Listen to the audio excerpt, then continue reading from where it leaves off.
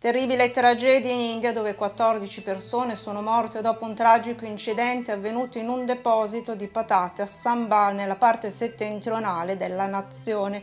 Secondo quanto scrive fanpage.it il tetto dell'edificio è crollato per via del peso dei tuberi e decine di persone sono rimaste seppellite sotto le patate.